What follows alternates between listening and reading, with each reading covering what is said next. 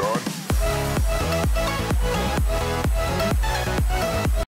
is Webber and today I'm going to show you how to get Android N navigation bars on CyanogenMod 12 or 13.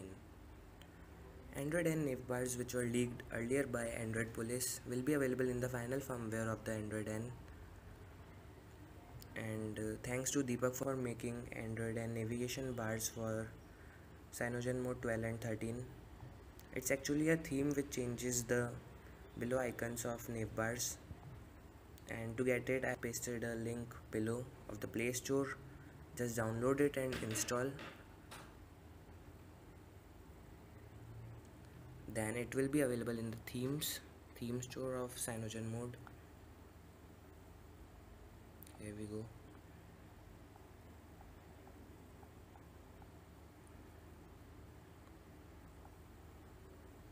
after applying it you will get Android N navigation bars which will look like this.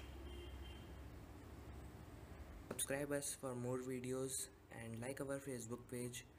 Thank you